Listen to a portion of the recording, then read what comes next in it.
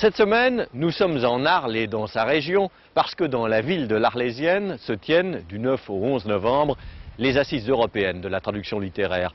C'est l'occasion d'insister sur le travail austère, peu connu et pourtant si nécessaire de ces véritables passeurs que sont les traducteurs.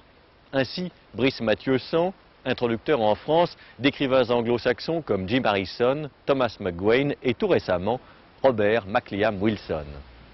Irlandais de 32 ans, originaire de Belfast, Robert McLean Wilson publie en 1988 un premier roman qui captive l'Angleterre, Ripley Bogle, et qui vient d'être traduit en français chez Christian Bourgois par Brice Mathieu-San précisément.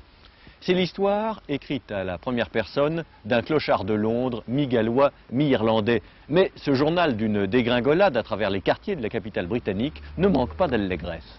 Ce Ripley Bogle est un SDF qui a des lettres et n'hésite pas à faire dialoguer deux romanciers à préoccupation sociale, Orwell et Dickens.